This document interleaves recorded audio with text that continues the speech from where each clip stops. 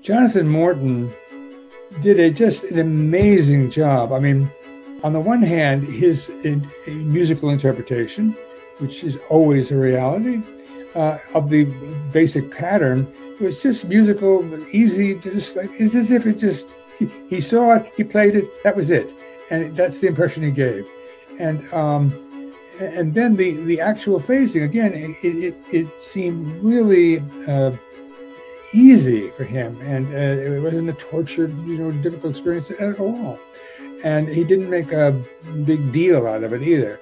Uh, so the the uh, theatrical quality which arises from the video and the fact that you see him and you see his uh, brothers, i.e., uh, clones of himself uh, made electronically, um, amusing, uh, delightful, and extraordinarily well done musically.